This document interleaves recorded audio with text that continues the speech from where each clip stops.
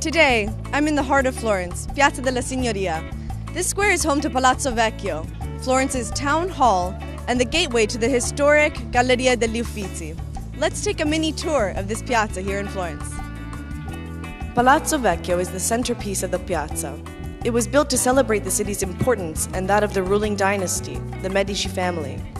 Completed in 1314, the palazzo was designed by Arnolfo di Cambio, who was also the architect for the Duomo and Santa Croce.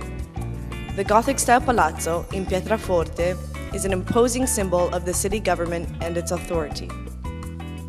When Cosimo de' Medici, the first Medici ruler of Florence, moved to Palazzo Pitti, he renamed his former palace and residence Palazzo Vecchio. Since then, for nearly 700 years, Palazzo Vecchio has been the place where civic affairs have been handled, decisions and deals made, and visiting dignitaries welcomed. Created in 1376, the Loggia dei Lanzi serves as an open air sculpture gallery. The statue of Perseo holding Medusa's head is a stark reminder of what happened to those who crossed the Medicis. Many of the statues here are today still the originals. On the other side of Palazzo Vecchio is the Fountain of Neptune.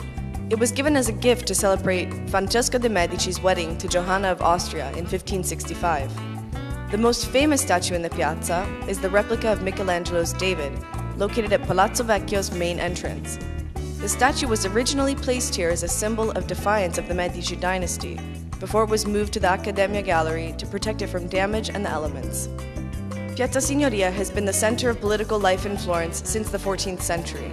Palazzo Vecchio has many secrets to tell, so take a walk around and see what else you can find out about this incredible square. Piazza della Signoria has been the center of political life in Florence since the 14th century, and Palazzo Vecchio has a lot of secrets hidden inside, so grab your guidebook and take a look around. Alla prossima!